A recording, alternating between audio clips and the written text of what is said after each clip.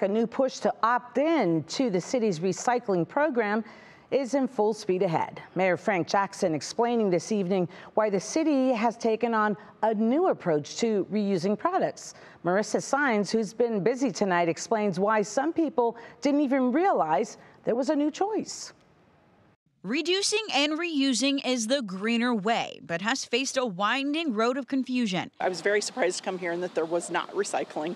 It's the City of Cleveland's new approach to recycling.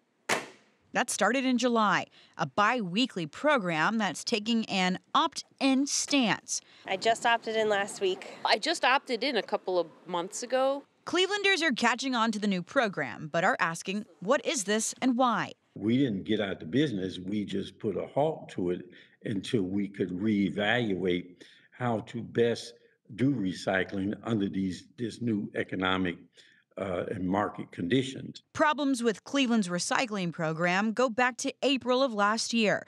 That's when the city started sending goods that were supposed to be recycled off to landfills. It would be annoying to like sort out all of your recyclables and just to find out that it's going into the same place as the trash. According to Jackson, the new program is a new method of trying to keep non recyclables from ending up in the blue bin. We then had to go and and um, and uh, empty the thing and treat it as if it were not recycled simply because uh, people were not in compliance. And that will allow us to have a better recycling program and, and, and the compliance will be almost 100%. You have until October 22nd to opt in to the new program by filling out a form on the city's website. Just search Recycle Cleveland. Are you going to? Absolutely. Marisa Saenz, 3 News.